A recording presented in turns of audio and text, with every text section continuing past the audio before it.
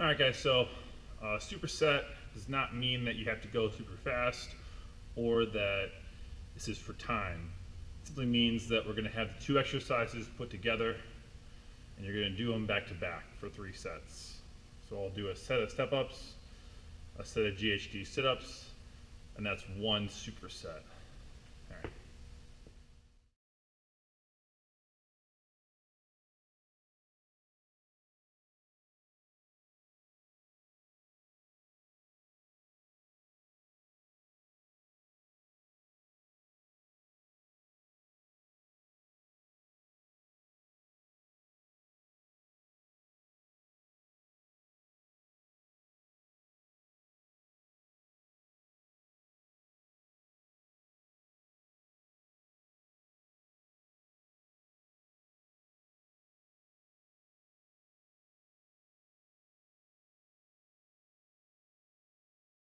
So that'd be one superset, three sets.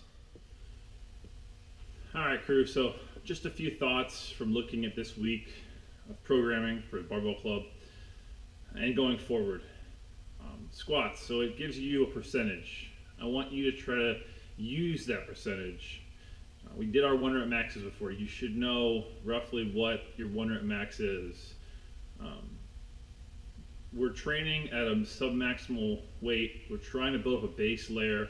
As we go forward, months on the road, we're going to build back towards the one rep max again. But right now, we're going to stay on those percentages.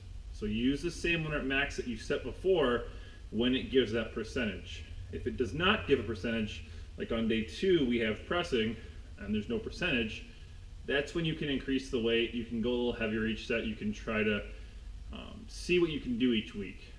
Um, when I'm looking at the movements that are the accessories, the weighted step ups, um, the GHD sit ups, the reverse hyper, the good morning, all these movements, um, I want you to try to work those at weights or movements that you can get the full 10 reps or the full whatever the set is um, comfortably, that you can do that. It's not you're not breaking down the movement. You're not having to give sketchy form in order to hit that rep.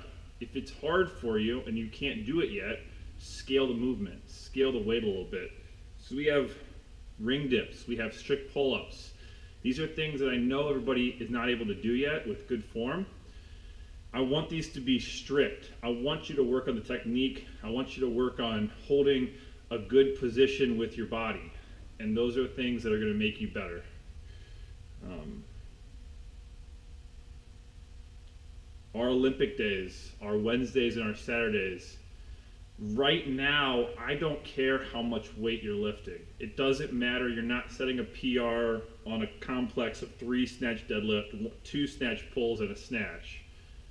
So that means, again, I want you to think in your head how perfect can I make these reps. Even if you only use 50% of your one rep max or 40%. It doesn't really matter because right now, all of us are at a point where we need to work our technique and we're not in a competition at the gym on a Wednesday evening.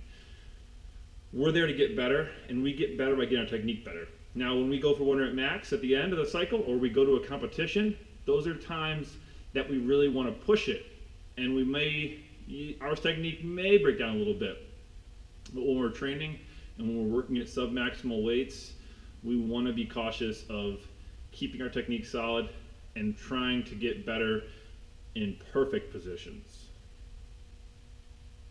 If you guys have questions going forward on any of that, or something doesn't make sense to you that we're doing, please ask me about it. Write in the group.